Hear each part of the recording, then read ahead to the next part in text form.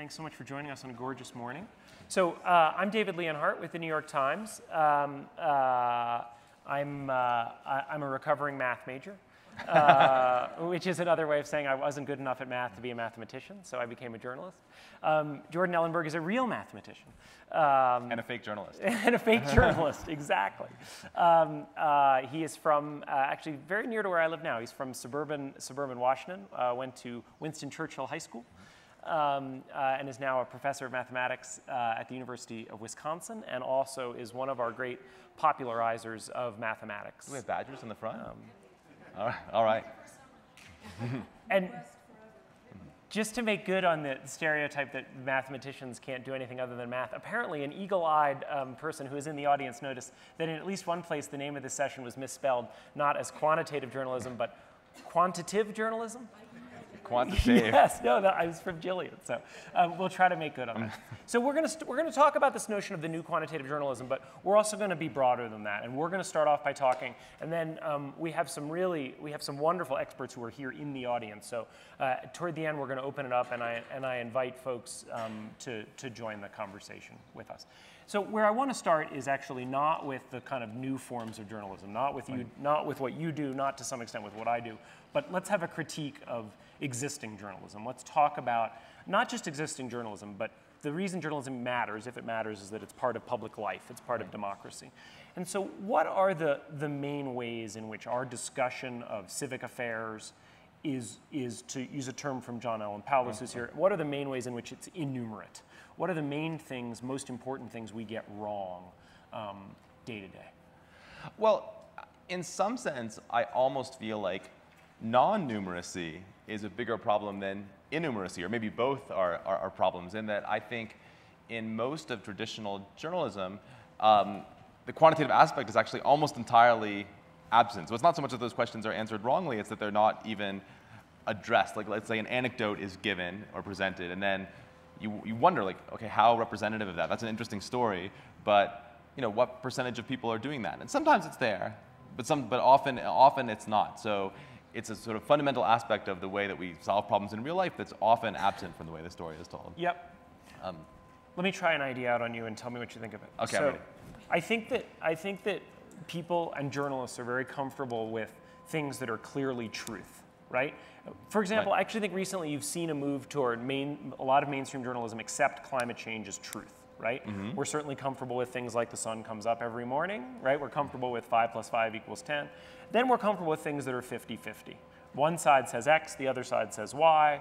We can go interview someone who mm. say the stock market will go up this year, it'll go down.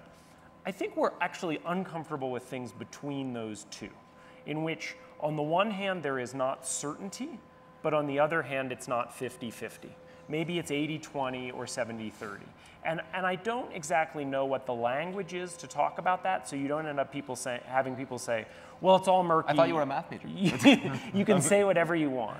I, yeah, so that's an excellent point. You know, there's this old sort of story that, I mean, this is not, of course, actually true, but people used to say, oh, there's this tribe, and like their only numbers are like one, two, and many. You know, people used to say that. I you know, heard that. Um, Anyway, this is not actually true as a piece of anthropology, but it's something. I mean, but the, what I think is true is that somehow in our discourse around the uncertain, just as you say, there's yes, no, and maybe. Like those are the three choices. Yes. Um, but what's funny is that that is not true in all of our discourse. Like to take an example, like one page you have in the newspaper is the weather, right? And people are quite comfortable saying, okay, there's a 20% chance of rain tomorrow. And I mean, they don't expect the, the, that page in the paper to say merely it is going to rain or it's not going to rain or it's maybe going to rain. People are comfortable with sort of some more nuanced description. And in particular, um, I think what you get um, what you get in traditional journalism, and actually I think you see this most clearly um, in the response to Nate Silver, who at least for a time was part of the New York Times, that people sort of who did traditional political punditry got like super head up and mad about what Silver was doing. I would say, like, why would this guy take a stand? Why would this guy do what we do and like say who's going to win? Um, nobody ever gets mad at the meteorologist on TV and says, like, why didn't you take a stand? Just tell me, is it going to rain or not? That's what I care about. Right. like, I mean, but I think I think um, Silver did get kind of, that kind of pushback when he brought that kind of um, quantitative description um, to the study of politics. but um, but look, like if you think weather is uncertain and subject to the laws of probability, like I mean, how much the more so like large-scale human behavior in the aggregate, like what we see in an electorate. I mean, there's, there's no way that's more something you can sort of speak less probabilistically about than weather. That would be crazy. Yeah, actually, Nate's a great example of it because Nate, to some extent, the criticism of Nate, and, and even though officially I'm now a competitor of Nate's, I'm a big fan of Nate's. Um, uh, uh, the criticism from Nate actually came from both sides of those. There was the, how dare he say other, other, anything other than it's a close race, right? Right. And, and also as well as what you said, which is why doesn't he kind of come down for sure? I think one of the things that's hard is that people like you and I, and I'm guessing a lot of the people here, are very comfortable with probabilities. The idea hmm. of, or think we are, the idea of, well, I, okay, you, I'm okay with the idea of it being 80 or 90%, right? Right. Tell me that. But I actually think even people who are very comfortable with numbers hear 80 or 90% and often think that's going to happen, right? And I actually, in the waning weeks of the 2012 election, when Nate still worked at the Times, I tried to persuade Nate when, when the numbers got up to Obama winning 90%. I tried to persuade Nate to write a piece to talk about just how often 10% happens. You're right? In baseball, mm-hmm. this is about 10% of all plate appearances end with an extra base hit. Now, if you're a baseball fan, no one thinks of extra base hits as being some sort of black swan, right? Right, A double, a triple, a home run. You go to every game has one of these, right? It's not something crazy. And Nate actually said no, he didn't do it. He actually is too polite for that. He pocket vetoed it, and then after the election came back and told me why he ignored the idea, which is he felt like at a certain point you have to be have the courage of your convictions. And while his model showed Obama 90%, he thought his model was actually quite small c conservative, and he thought the percentage was more like 96 or 97, and he didn't want to write that piece at that moment. Um, but but the larger idea here is I do think it's incumbent on us who do this kind of writing, and I don't think we're good enough at it yet, Right. to come up with a language that helps people understand what 5% means, what 80% means, and I don't think we have it. How, how can we do better at that? Uh, so first of all, boy, I have a lot of directions to go from, from this. Actually, one thing, I actually wrote about this exact issue of like, how do you think about 90%? And I found there's a wonderful website which shows you situations in a baseball game and what percent of times did the home team win in each situation. So you can take like any percentage you want, like 90%, and be like, oh, this is like the home team being up by three runs in the eighth, and they have a runner on and on first, and they're batting. And like, and you can sort of calibrate it to be like, oh, that's exactly what it's. It's sort of like that's the level of how sure are you you're going to win. As a Red Sox fan, I'm going through all the ways the Red Sox have blown scenarios like that. Oh, right. the so for, there's a special separate site for Red Sox fans where you have to calibrate it to your natural level of pessimism. Um, so, um, I mean, one thing we got to keep in mind is that writing about math is first and foremost writing. I mean, that's what it is. So I think people sort of ask, like, okay, why? A lot of like sort of how do people how to put it?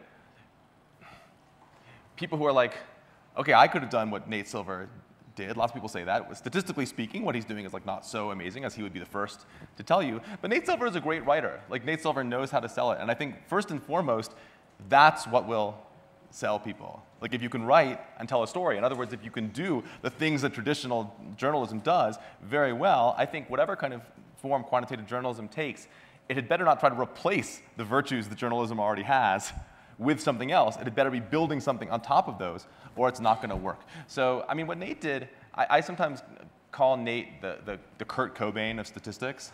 And then I think he thought that meant I thought he was going to like have like a tragic, shortened life or something like that. But what I meant was that um, for those of us who were around in like 1991, um, you know, when, when Nirvana's records start to come out, you're like, wait, like this can be popular? Like I know this kind of thing exists, but like somebody can do this kind of crazy music that we think of as like a weird niche practice and make it a huge top 20 hit. I think that's how math people felt about Nate Silver. Like we didn't think we were allowed to go as fine-grained as he went. We thought, oh, no one will want to listen to this. And I think, um, but I think it is, to be honest, I don't think he talks about those ideas particularly differently.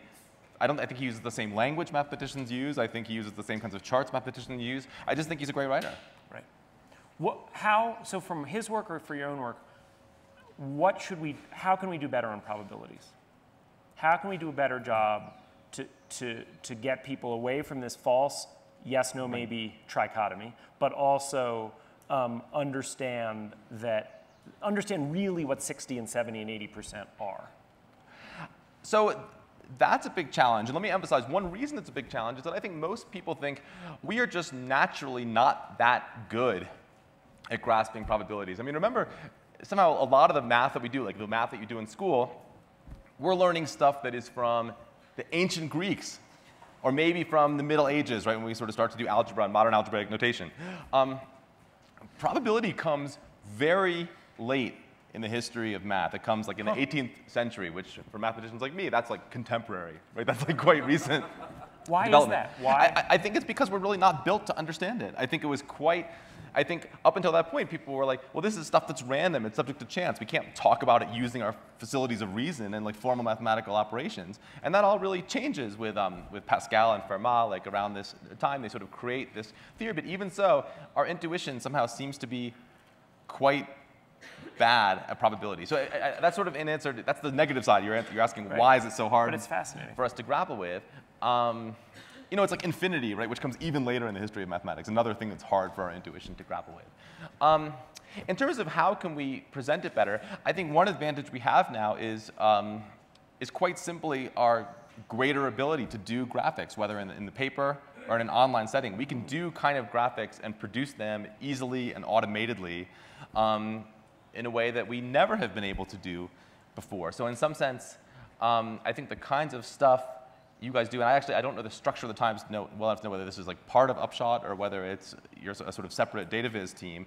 Um, but you'll see things that, that and you guys have probably seen these like um, you know maps and charts of probability distributions the Times will do, where if you want to sort of modify one of the parameters, you want to know like okay what does this look like for low income people? There's like a slider that you can slide on your screen, and you can see dynamically how the probability of, of an event is changing. I think. Um, watching things changing in time, that is how our intuition works, and I think that helps us grasp it. And we didn't, you know, in the New York Times in 1970, we did not have the option to print a paper with a slider that you could move on the Yeah. page and see things and see how uh, changing one variable changes the. That's a really good point. I, I hadn't thought of it in those terms, but that, that none of our minds is that well suited to think about 70% versus 80% versus Right. 90%. But when you can see it, right? If you see 70 dots here and 30 dots there, Right. and you can compare that, that's true. I just gave a talk at Google about. Um, uh, about a lot of these issues in journalism, and there's so much hand wringing now in journalism about how journalism is going down the tube, and there's no money for shoe leather reporting, and all people do is listen to people who already agree with them. And I made a version of the point you just made, which is by any definition, which isn't to say that we succeed on every single story, we don't at the New York Times or anywhere else. By any definition, the New York Times is better than it was even 15 years ago. When you think about the fact that 15 years ago, when we were writing about these complicated studies, there was this tiny little graph on page A16, a little Right. map, right? And you sort of squinted and you say, oh, look, Georgia's worse than North Carolina. And now you take your slider and you pick the county in North Carolina that you want to look at. Right. And fascinatingly, it's actually a deeply it's a deeply humbling lesson for those of us who write, but it's a really good lesson. When we put up an article and we put up a map on the same topic, I would say that the map often gets something on the order of five to 10 times the number of readers as the article. I'm And- surprised it's that low, actually. Yeah, well, sometimes it's higher, right? Your articles are great. yeah, I'm just saying. But it's, it's, that's a really good thing to keep in mind, right? Because this is how people often like to learn. And there's nothing inherently, there's nothing inherently smarter about big blocks of text than there is about maps. And it seems like there's a growing recognition of that in the world. Yes, although I will, just so that this doesn't become like a backslapping orgy of data triumphalism, um, I don't want to lose sight of the fact that it is true that the way we tell stories is through words. That's right. And we can't lose sight of that. Like, not, okay, I'm sorry if there's any visual artists in the room, but it's not like really through pictures that we tell stories unless we're like in Neolithic times, right? It's like fundamentally, words are like way better than pictures at really telling a story and telling a narrative. And so I don't, we shouldn't lose sight of that. Like, it would be terrible if you guys were running just maps, Yes. right? I mean, I think that would inevitably be the, I mean, kind of empty. Yes. I, although I think there may be, so I think clearly stories inspire people in a way that numbers don't, right? That if, if what you want to do is make people get something on a deep level and spur them to action, a story works in a way that my getting up and pounding the table about millions of mm. people suffering never would. What I wonder is whether we should be going more toward a combination of those stories and the visualizations and less toward the sort of relatively dry recitations of facts within words, right? That maybe that is kind of the right mix. You wrote a really nice and I thought brave piece where you talked about, you said, look, I, I've written a book called How Not to Be Wrong. Mm-hmm. Let me talk about how I personally have been wrong. Um, which is something that you increasingly see some journalists doing. My colleague Ross Douthat writes a version of this column, What Have I Gotten Wrong? which I think is a good kind of accountability. There were two of your examples in there that I thought had a thematic idea that I wanted to talk about here. You said that after Barry Bonds uh, started his record breaking home run season, you said this isn't going to continue. He's going to revert mm-hmm. to the mean. And you also said, as um, at one point when we were looking at data on political polarization, you said this isn't going to continue. It's going to revert to the mean. Right. Um, neither one of those reverted to the mean. Barry Bonds set the record for most home runs. Right. Political polarization has reached newly high levels. How can we grapple with the fact that on the one hand, the vast majority of things revert to the mean, and on the other hand, the things that don't revert to the mean are often the most interesting and most consequential things in our society.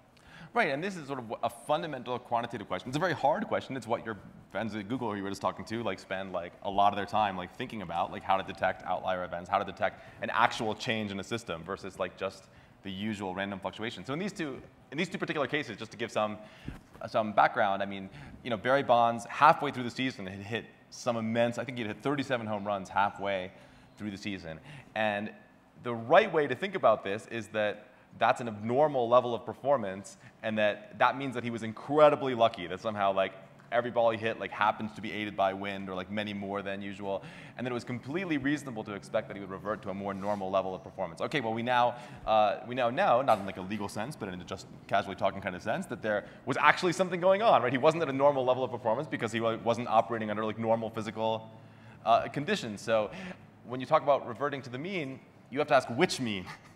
like, you know, what's the population he's reverting to the mean of? And it wasn't the population of regular baseball players, it was the population of sort of baseball players 2.0 that we sort of saw uh, in the early 2000s.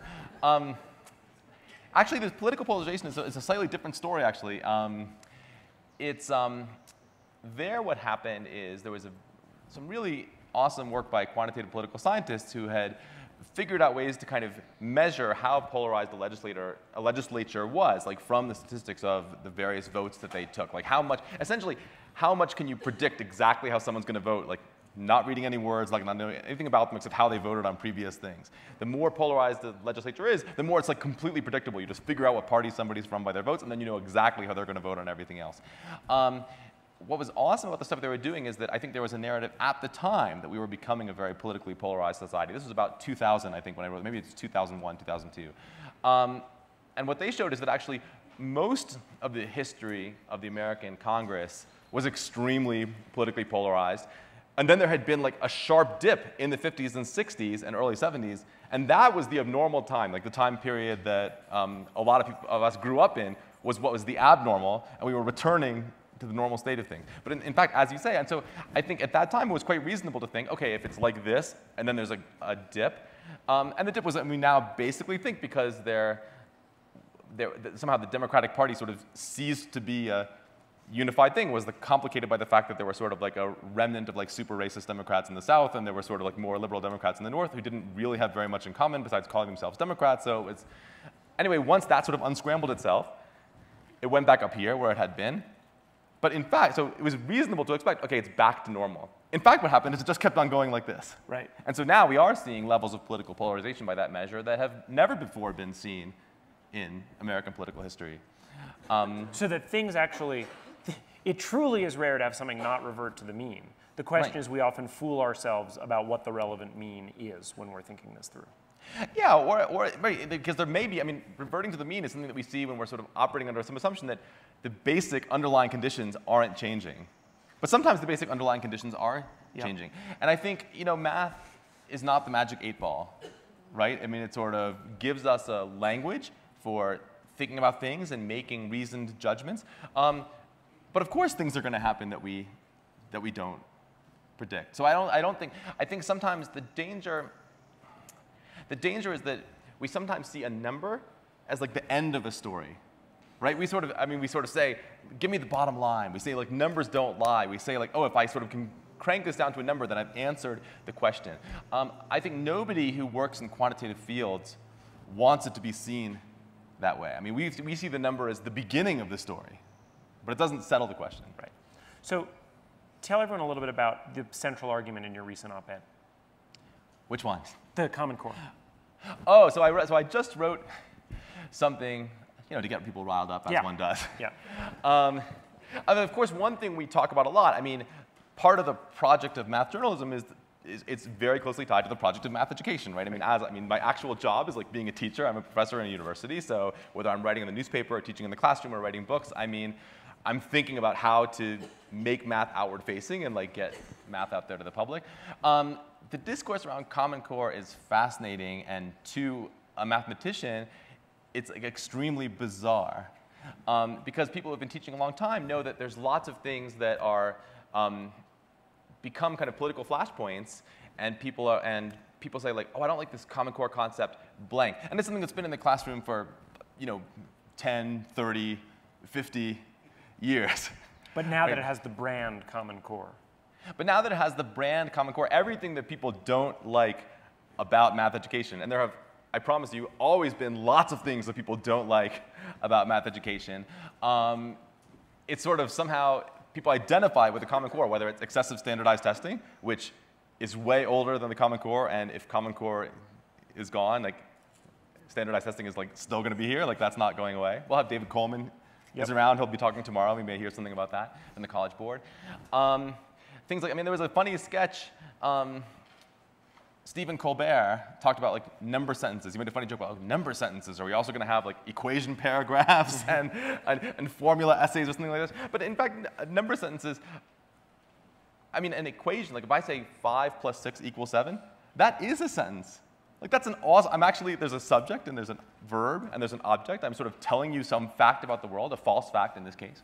Um, and it's actually something that is not particularly, it's actually that phrase doesn't even appear in Common Core, actually. And it's also not new. I did a, uh, I did a Google Ngrams for this while we're talking about sort of quantitative journalism tools. Have you guys used this tool that Google now offers? And you can see this phrase number sentence, you can see it sort of peak in like the 60s and 70s. I mean, that's when it sort of starts.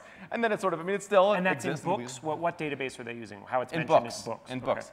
And, um, and you can go, I mean, we have an awesome collection of historical math textbooks at, in, our, in our library at Wisconsin. I mean, going back, you know, to about 1910. So you can see that everything that people think of as like newfangled and weird in math teachers, you can find it in books from the 70s, books from the 50s, like books from the 1910s. I mean, there's not really like that much that's like radically new in math education. So let me push back a little bit on the standardized test thing, which is I know standardized tests, everyone loves to hate standardized tests, right?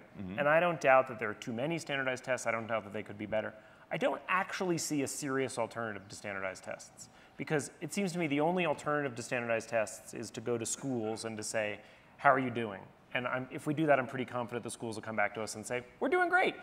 Um, and that, that really the only way to measure knowledge is tests, right, of some kind or another. And the only way to compare them is to standardize those tests. And that so for as much as everyone hates them, and I'm sure I'm in a distinct minority in this room here, in any room, um, standardized tests are an inherently good thing. And the question is, how do we make them better? Is that wrong? Um, I think you're right that the question is how to make them better. I'm not sure. This is an interesting question, and, and um, I'm actually not particularly against standardized tests. But part of that is that, you know, a lot of us in this room, I was awesome at standardized tests. and one thing I learned about them is I was awesome at standardized tests, even in subjects I didn't actually know anything about. Because I think like being good at standardized tests and figuring out which of A, B, C, D, and E is correct is a skill that is somewhat orthogonal to like actual subject knowledge. So I loved him. Give me more. Barry Nalebuff, Um, a, game theorist, has a fabulous essay about how it's a wonderful essay, and I actually think it's going to be online with Coursera soon with his course. Uh, this is an ad for Barry Nalebuff's Coursera course, apparently. But he- what he does is he gives you the five answers on a standardized test without giving you the questions. Right. Um, See, I and would the reason that. he got this idea is he was sitting on a plane next to someone taking a practice, maybe a GMAT or an SAT test. I think it was a graduate school test. And, and the person was in between pages, where the question was on the bottom of one page and the answers were at the top of another. and Barry was sitting next to him, and Barry looked just at the answers and thought to himself, I know the answer to that question. Yep. Even though the questions wasn't there. And that led to this whole lecture that he's given about the different strategies you can use. So let me say a couple things. One, I think actually what's really important about this issue is we spend a ton of time when we think about education talking about what teachers should do. What should teachers be doing in the classroom that they're not doing? I mean, Elizabeth Green is here. She's going to be talking uh, tonight, I think, about her book, Building a Better Teacher, which is super interesting on this round. And that is, and that is really important. On the other hand, given that we're in a regime where standardized tests are critically important, where a lot the fate of a school and the fate of a kid in large measure depends on how they do in the standardized test, um, what's on the test and how the test is structured has a huge amount of influence on what happens in education. And so I do think somehow our discussion about education is so centered on what should the teacher be doing, we hardly talk about what should the test makers be doing, what should the tests be like, how should they be structured. Um, their actions are taken as like kind of a given that is like not to be discussed. And I think we should be talking about that just as much as we talk about just as much as we talk about teachers and how can we improve teaching.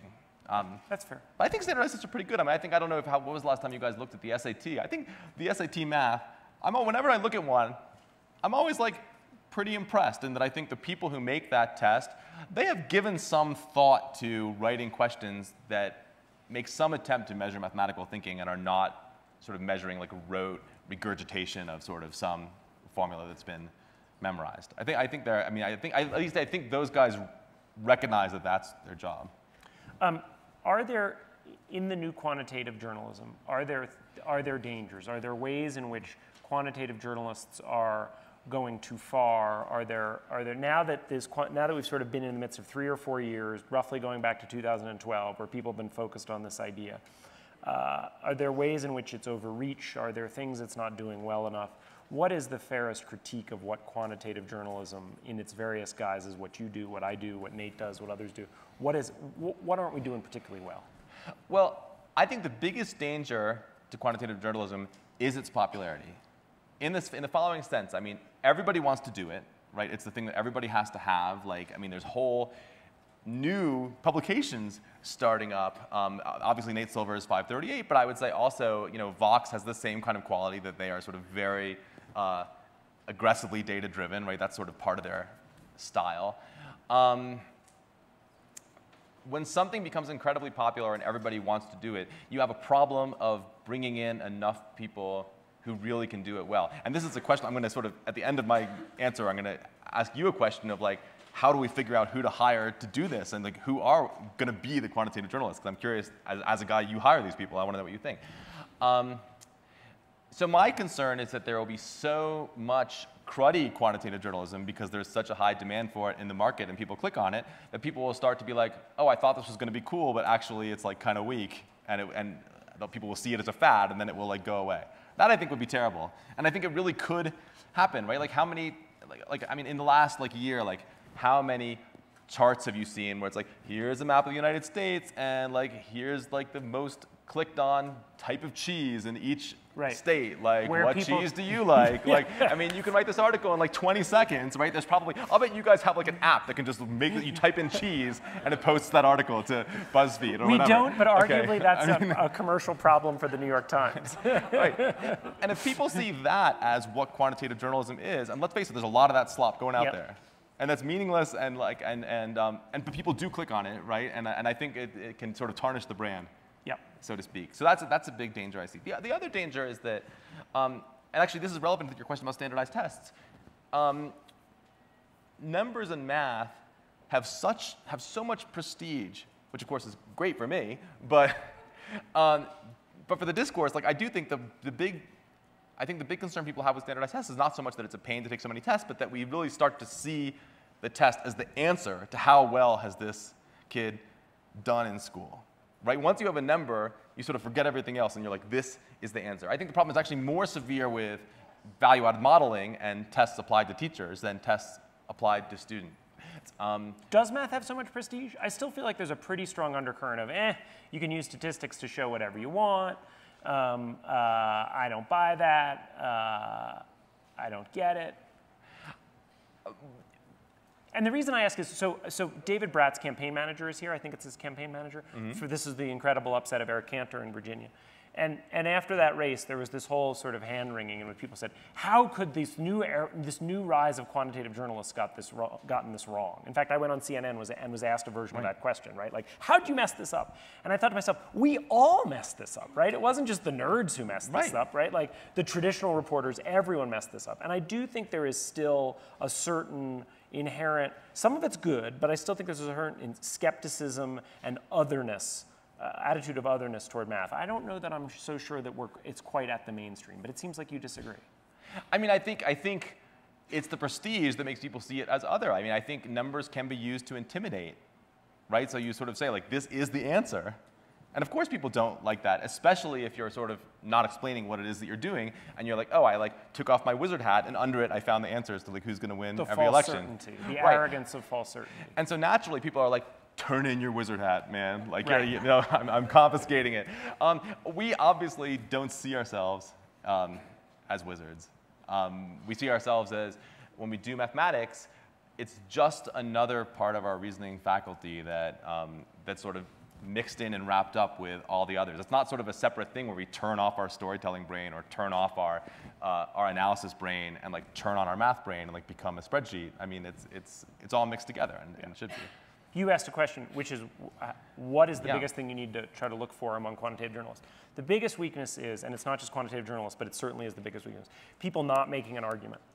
It's, I did these Oh, yeah. regressions, I gathered this data, let me tell you, let me show you what the data shows. This says something about X, right? Rather than actually telling you what it says about X. And, and people I work with, I say this so much probably, I'm sure they're totally sick of it. The vast majority of good data stories, I actually think it's true, the vast majority of good stories, period, can be expressed in a single sentence that makes a clear point and is intriguing enough that people want to hear more sentences.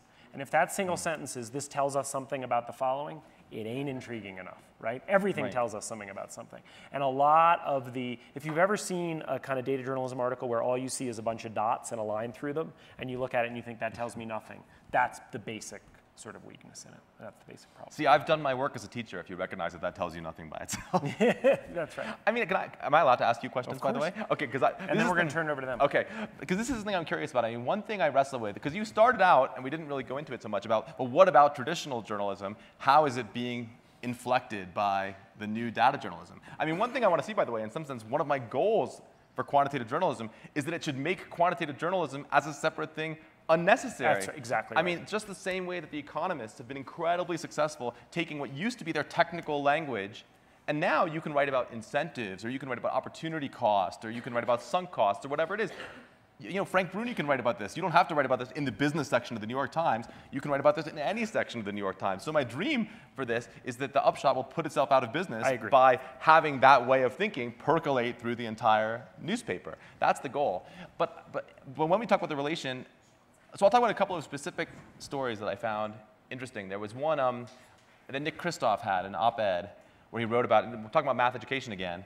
He wrote about a problem, um, and he was like, here's a math problem, and American students on this, on this question, they finished behind like, you know, Ghana and Indonesia and Burkina Faso or whatever it was. And like, you know, like, how, how did our students do so poorly compared to all these other countries. You know what I mean?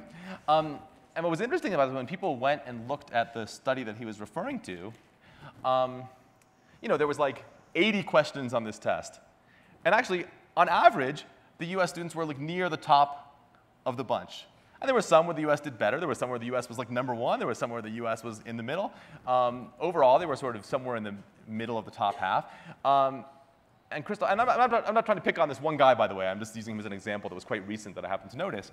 Um, he picked out the one question where US students ranked the lowest and compared them to all these other countries. So one thing I'm curious about that I wrestle with when I think about how quantitative journalism is going to look is on a math level, like if I were sort of writing about how should we think of US performance on this test, like US eighth graders relative to other countries, I would be like, well, of course you can't pick out the one question where US people did particularly badly and use that as your example. On the other hand, I know that when we're writing a story, of course you sort of pick out the most vivid illustration of the case you're trying to make. So I wonder how you see that. From the point of view of fact checking, there was no fact that was incorrect, right? It was like a literal truth what he said about on this question, US students do worse than others. So I'm very interested in how you see the difference between what I would consider sort of adequate checking from a scientific point of view, if I were trying to make a statistical or scientific case for something, versus what you consider, because my sense of working with journalists is that fact checking is fact checking, and, and what's being checked is are the statements literally true? But I mean, let's say, I mean, I don't want to put you on the spot, but like, let's say you were the editor on that piece. Would you have said, we need to see how the U.S. did on all the questions, or have you said if we can check that fact and it's correct, then it's correct? I don't know the piece in particular. And Yeah, Nick's so I don't one mean to of- put- yeah. Nick's one of the most open-minded journalists out there. Right. Nick actually often tweets criticisms of his own column that aren't that aren't just criticisms. Right. Like so it's not to pick on him at all, Right. but I think this is a common practice, right? Anecdotes that are So maybe not representative. I think this is another example of how journalism is getting better, which is we are no we are no less fallible than we were before, but the market for truth is essentially more liquid than it used to be.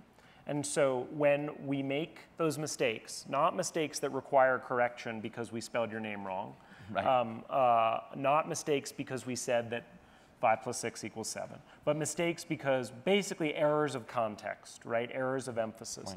There is now such a strong market for peop- other people to immediately say, you bungled this one, right? Right. They can do it on Twitter, they can do it on Facebook. That doesn't make, mean that the mistake doesn't matter. One of the great privileges of working at the New York Times is it still does matter. But it is much easier to correct than it used to be. It no longer requires you write a letter and maybe we publish it or maybe we don't, right? And that, so I don't think the mistake is going to go away.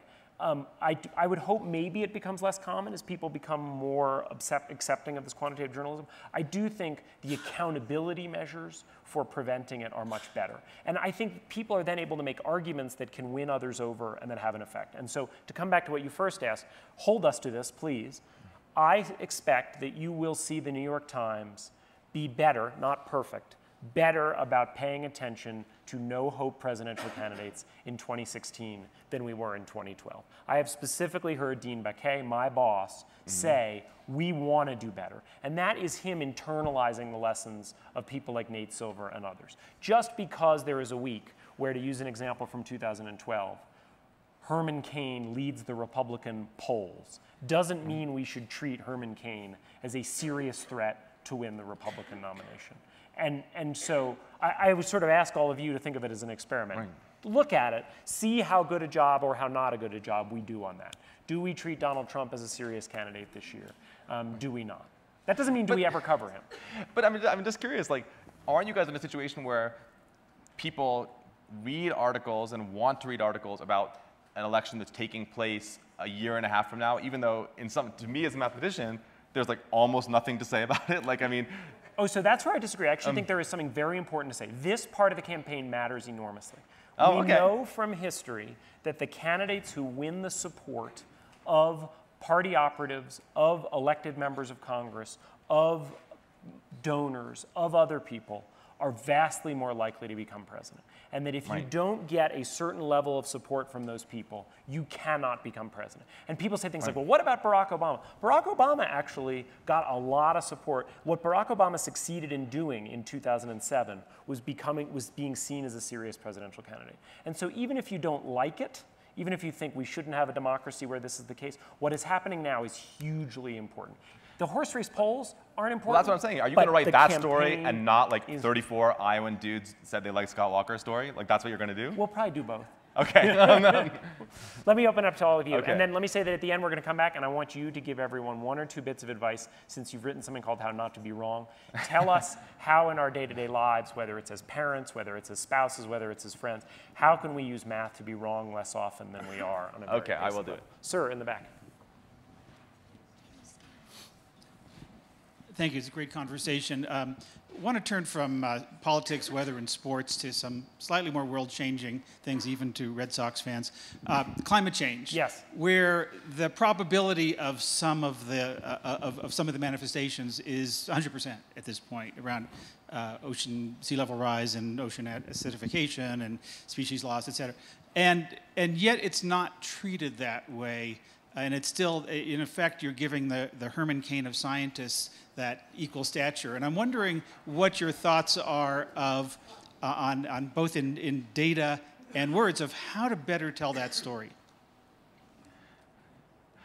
So one thing I'll say, I actually, I, I thought of bringing this up actually when we talked about political polarization, where you sort of have like a line that's going like this, and you're like, okay, is it going to stop growing and go like this, or is it going to go like this? Actually, a fascinating experiment that I did, um, I mean, is that, as you probably know, if you think about these issues, 1998 was a super warm year. There was a big spike that year. And so it's very popular. This is a good example of like a numerical fact that is not a false numerical fact, but is designed to mislead. Like you will have people uh, in 2008 saying like, well, there's been no warming for like the last 10 years. Like, look at how hot it was then. And what's interesting is that then in 2010, you have lots of people saying there's been no warming for the last 12 years. And in 2000, you know, every year, people are like, who wish to sort of say that global warming has stopped, will sort of conveniently use as their endpoint 1998, the hot year. So I actually did Google Ngrams for this, where you can actually see like the frequency of people saying like, you know, 15, you know 14 years with no global warming, like spikes exactly 14 years after 1998, and then sort of a year passes and people move on to saying the next thing. It's a perfect example of a numerical fact that's true, but is I mean, yeah. somehow should be fact checked away despite being a true fact. I don't, um, I don't know. You can tell me what you think, but I think that in, I do think that somehow in the mainstream media, like anthropogenic global warming is no longer treated as a controversy. I do think that if you are covering a presidential candidate and he says it's all a hoax, you can't not report that he said that. And in the, in the news section, right, I mean, I don't really know the rules, but I would assume that in the news section, you can't said, you know, you know, such and such, such and such, James Inhofe said, comma, falsely. Like, you're not allowed to do that, right, in the, Right. in the main section. No, but you can say. I, I think that's right. I, I do think, I think we were too slow to get there. Um, uh, but, but I think you want to I do that when I read the story out loud, by the way. I, I don't think in the Atlantic, I don't think in the New York Times, I don't, I don't think you're going to find equal weight to the two camps at this point. I, I I really don't. I think to the extent that society has uh, uh, is being too slow to respond to climate change, which it is, um, I don't think the problem at this point is the national media. Um, we may have been too slow to get there, and if I'm wrong about that, hold us to that and, and let me know, ma'am.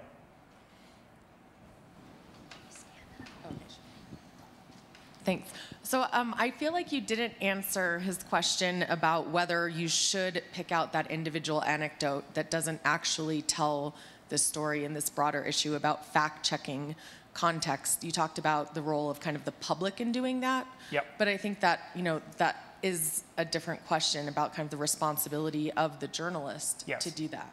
Yes, you're totally right. And- And, uh, And well, there's a second question too that as we get into big data and you can get all sorts of data sources and tell stories, what are the ethical implications of some of the stories you might tell about crime statistics or the intersection of different, you know, forms of data um, in journalism, and how do you decide where those ethical lines will lie? Can, uh, just to be clear, do you mean privacy concerns on the second question or something else? No, I mean ethical concerns in terms of, you know, a big data set could tell you, you know, predictive policing, for example. You know, how much can you predict based on the past? Okay. So on the first question, you're right, and, and you were right. Meaning you, we shouldn't be, I don't know the specific example you gave, but the, your point was not that example.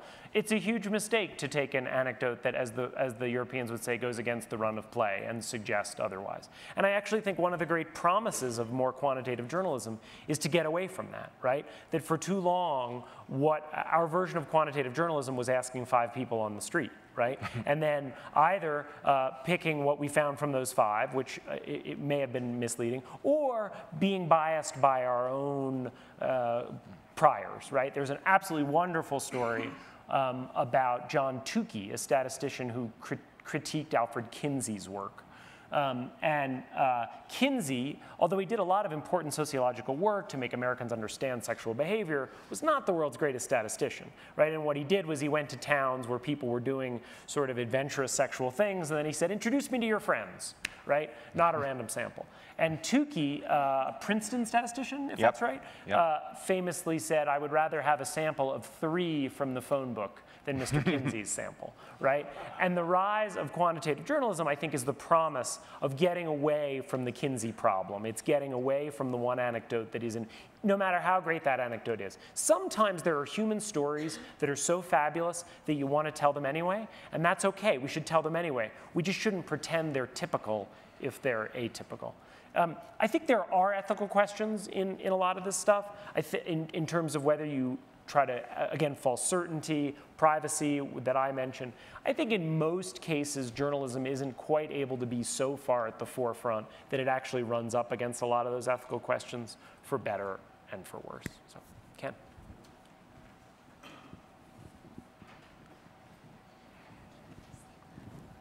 Thank you. This is a wonderful conversation. Thank you. One comment and one question. The comment is, to me anyway, using a number is almost meaningless unless it's compared to something else. And that's, of course, a problem of what should you compare it to. Something that happened before, something that happened elsewhere, but a single number does, doesn't stick with me. The question is, when you're talking about quantitative journalism, uh, it seems that the rubber meets the road here on polling. Yet, ironically, polling is getting worse and worse, it seems to me, over the years.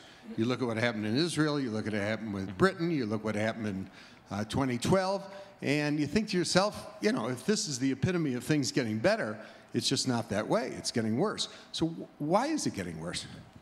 Um, there's a huge amount of controversy about this. I think most polling professionals um, do think that it's getting harder to poll, and, and my sense from talking to those people is that the cell phone issue is the big issue. So in other words, there was like a long-standing protocol that really worked pretty well of doing exactly what Tukey said, calling random numbers in the phone book. Um, unfortunately, lots of people are no longer in the phone book, and the set of people who are not in the phone book is what we call in statistics a biased sample, right? That's not a random sample of voters. People who only use cell phones uh, um, are different from other voters. Um, and we don't know, um, I don't know why I say we, I don't do this kind of work, but people who are professional pollers haven't yet figured out an adequate way um, to account for that. I actually think the British election is fascinating because there's a huge amount of controversy over what went wrong with the polling. Like, why was the polling so different um, from the actual eventual uh, ele- electoral results? Um, some people feel like the pollsters did their jobs wrong and, and, they should have been able to predict the outcome. Other people feel like people simply changed their mind between the last polls and, um, and the election. That does happen. And obviously, there's nothing pollsters can do about that, right? If people are planning to vote one way and then when they walk into the voting booth, they change their mind. I don't care how much statistics you do, like, you're going to get the answer wrong. And in this country, pollsters still have a very good recent record, right? They nailed the 2012 uh, presidential election. They nailed the 2008 presidential election. They're a little off in 2012. They had they were basically biased two points toward Romney, two to three points systematically.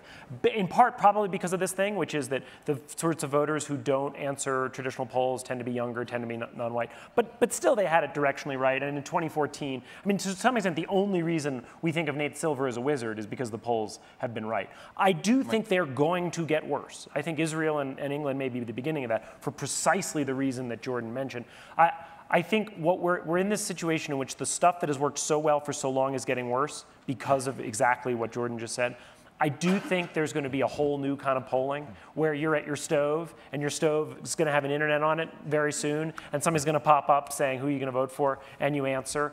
Oh the God, problem is now. we can't we can't they don't yet know how to randomize that in the way they know how to randomize phones but my guess is that we are probably going through a, a period where we're, there are transitions costs and polling will again be But, but also the good news is that inside the academy, people are working super hard on how to make non-random samples more effective. Like this kind of sample that Kinsey did, um, where you sort of like, like I ask one person, then I ask their friends. I have a colleague called Rohe Yeah. in the statistics department. People are like, how can we make, how can we actually get effective results? I mean, I probably inside the academy we're working on this stuff. I mean, so so let's go back here and then uh, if we have another mic we'll go back there I'm uh, Michael Conniff. I'm with the Isaacson School, and we have a digital journalism program. I, I feel like I have to point out the irony of talking about polling as data. Um, polling and, and talking about probabilities as data, and I, I hope you'll address this, but just to give you one quick example. Um, people are always asked, who would you vote for if the election were today? It's not today. That's the wrong question. So the basic premise is wrong, I, I feel. And then the other quick question is can you explain the basketball PER to me? i cannot wait, I don't even, what, I don't even know what it is. PVR. PER is this basketball stat that tr- tries to, if you know baseball, it tries to be like VORP, Oh. one statistic, and some people hate it and some people love it. Um, so I'll briefly say, maybe we can talk about this at length, more length later. I'm okay with that question. We can fight about it later. That that version of the polling question. I think it's. I'm not. Like I think of the questions I could ask, I think that one's all right. Um, basketball, I'll tell a brief interesting story. I don't know that particular statistic, but I will say that baseball statistics developed in a kind of academics paradise where nobody thought it was worth any money, and so everything was done open source, and we all know how to compute a lot of baseball statistics, even like fairly advanced ones. Basketball taking place post Moneyball, the teams know that it has financial value, and so the, sadly, for somebody like me, They bought up all the experts. Exactly. The strong people who are working in it are working for teams. It's all proprietary. We don't have access to the data. Um, I mean, we have access to what we're given, right? I mean, we have access to, we can get sheets of that PER. I've, I've seen them. But you don't get to like go under the hood and mess around because people now see it as something that has financial value. And so I do think the development will be slower than it was for sabermetrics because it's, because it's all closed source. I think the most underrated polling question in politics, and if we get the microphone going back there while I'm talking, great, is who do you think is going to win? Uh, uh, Who do you think is going to win has a better historical record than who do you plan to vote for today? And there are a couple different theories about why that's true. One theory is that n- when you ask me who do I think is going to win, not only do I know who I'm going to vote for, but I know who my friends are going to vote for. The other theory is that um, a great example of how who do you think is going to win outperformed the other one was 2004. The polls between Bush and Kerry were very close. The polls on who do you think is going to win, Bush led the whole time. And another reason for that is that there are a lot of Republicans in 2004 who were maybe disappointed by Bush. And when they were asked that question, they almost wanted to punish him a little by saying, Oh, I think I might vote for Kerry. They, they never were going to vote for John Kerry. and when you ask them, Who do you think we're going to win? they actually gave you a more honest answer about their own voting intentions than if you asked them their own one. Hi, I'm going to be a high school senior this year, and you were speaking to standardized tests and how you think that's an effective way of gathering data on students. And uh, I think that that's not necessarily an accurate analysis of our student population because the kids who do well in school don't necessarily do well on those tests unless they have the resources to pay for like prep courses and whatnot. And many students learn differently and don't do well on tests even if they're doing like straight A's in all their classes. So I want to know what you would say to that. Yeah. Thank you. I knew I would get the you're wrong about standardized testing question. and I'm getting it for someone more credible than anyone else here. Wait, someone who's who wrong? Both of us or just him? I think she means you're right, right? Okay. I guess my only point is I agree with everything you just said. I think standardized tests have a class bias. I think they don't adequately uh, uh, account for the fact that there are different kinds of learning styles. And then if you would critique this answer, I'd be grateful because I'm sure I'm going to get it wrong. Uh, My only point is I don't see the alternative, right? We need to find out what students are learning in school. And the only way I know of to do that is to test them, right? Is to, to see what kind of knowledge they're accumulating. And if we let each school design its own tests and come back to us, which is something we did for a long time, I know the answers they're going to give us, which is every school is going to come to us and say, we're doing a great job. And so, what I think we need to think about is how do we take your dead on critique of standardized testing as it exists, but then not go all the way to a system in which essentially we don't acknowledge that some schools do better than others and try to have the schools that are doing better than others learn from them. Uh, So I would say, I mean, I, all of us agree on like the, the, the severe limitations of standardized tests. That they give like a one-dimensional numerical picture of something student learning, which I feel like I could write a whole essay about each student and still not adequately convey like what it is that they've learned. I would just push back on what you said, David, when you say there is no alternative. Like, what are we going to do? Like, not do it? Well, we could do that. Like you said, like, okay, there used to be a, a system where it was less standardized. I mean, is it so clear that we're doing a better job with our students now than we do then? I think, I think that's a question we have to ask. I mean, you can imagine a world, it's sort of hard to imagine, where what the school was doing is saying, we're going to teach every kid to the best of our ability. And if we don't know exactly, if we can't actually put the kids in the order in the end, like, so be it. Now, I think there's a sort of philosophy that you can't manage what you can't measure. I don't think that's obviously correct, but I mean, that's, I think that's the philosophy that says, like, oh, if we don't sort the students, we can't possibly assess whether we're doing a good job. Um, I, I mean, I think that's an empirical question. Um, there are so many hands. I'd love to get to more. I wish I could, but I've promised people that you're going to make us smarter before we leave, and we have only two minutes left. So What was I doing before? even smarter. so, how can we be wrong less often uh, in our daily lives as friends, as spouses, as partners, as parents, as children? So I do think, I mean, maybe, maybe I will uh, bring it back to this thing we started at the very beginning. That I do think um, trying to think about probabilities in some kind of systematic way is something that we are not trained to do. It doesn't come naturally to us, and it's also in many places not really part of school math, or if it isn't in school math, it's in this incredibly artificial, okay, I like pulled six yellow balls out of an urn. I mean, I've, I've never even seen an urn, and yet every time I teach probability, I'm asked, I don't even know what that is. Um, so, so I do think um, I guess sort of trying to train when you're sort of making some decision that's subject to uncertainty, as all interesting decisions are, um, to sort of kind of train yourself in like the difference between of among them in the world of maybes in the landscape of maybes the difference between a 5% and a 30% and a 70% in the same way that you might like want to like know the difference between like different kinds of birds or something right? I mean you sort of should have some sense um, of the menagerie of That in your mind, you almost should have things that you're familiar with. What is roughly 10%? What is roughly 40% that you can kind of glom on? to. Actually, that's a good idea. I hadn't really thought of it that way, but I think that's like a good. If, if you like baseball, you can do it that way. You can do it. Um, Thank you all. Thanks for the great questions. Thank you. thank you, David.